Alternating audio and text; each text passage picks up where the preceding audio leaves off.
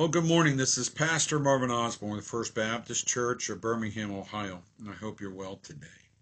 One of the great promises that we have in Scripture is that of the rapture of the church, that before the great tribulation takes place, before the seven-year peace treaty is signed in uh, with Israel, it, that there will be a a rapture of the church. The word rapture means snatching away. That those who have put their faith and trust in Jesus Christ, that we will be raptured out of this before the time of the great tribulation. And then there's some people who disagree with me regarding that. Some believe that we're going to go halfway through the tribulation period or we're going to go all the way through the tribulation period. I don't believe that. I believe that God has not appointed us to wrath, right? And so that I think that we're we're going to be removed from this uh, terrible, terrible time the Bible describes as the Great Tribulation. We're looking at Revelation chapter 22, verse 20. He that testifieth these things saith, Surely I come quickly. Amen. Even so, come, Lord Jesus. Christ promised here is he's coming again. Surely. You can believe it. You can count on it. I guarantee it. He says, I'm coming back. And uh, we see the promises throughout Scripture and saying that He's coming again.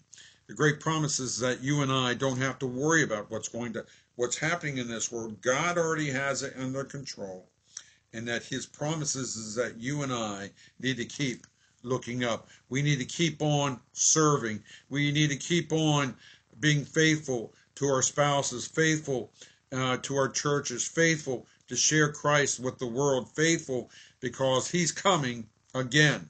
He's coming again. Praise God. And that this is not all there is for you and I. As we said before, and I'll say it again, uh, the great great quote is is that this is the only heaven that some people will ever enjoy, but this is the only hell that Christians will ever have to endure. Uh, this is not our home. We're just pilgrims passing through. Uh, we've our problem is we've gotten too connected. We've got too entwined with uh, with uh, uh, with with this world's systems and this world's politics and this world's um, applause and so forth. That's not the way we're supposed to be. We need to keep our eye on the prize. We're supposed to be like that sprinter who's running towards the finish line and and going to finish this race as, as swiftly as we're capable of doing. God has called you, I believe, at, to live at the most exciting time in the history of mankind, and that is the the time right before the rapture of the church. I think there's going to be a great soul harvest in our lifetime, and I hope that one of those people that gets saved before the rapture of the church is your child, is your family member, is your neighbor, is your uh, work friend, or whoever else that you've been praying for um, for all this time. You know, now is the time for you and I to begin inviting them to church and invite them to um, to um, to to know Christ as their Savior, uh, to be a witness to them. Now is the time because the time is running out. Jesus promised. He said, "Surely I come." What's the next word? Quickly, quickly. What's God's timetable? I'm not exactly sure. I am sure of this that there's nothing, there's no prophecy that has to be fulfilled before the rapture of the church can take place, which means that the, the rapture of the church is imminent. It can happen at any time.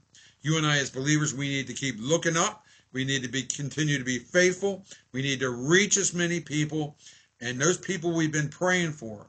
We're concerned about our child. We're concerned about our neighbors. We're concerned about this person and that person well, you know that idea of just praying for them has to go, has to, uh, has to uh, be put into action.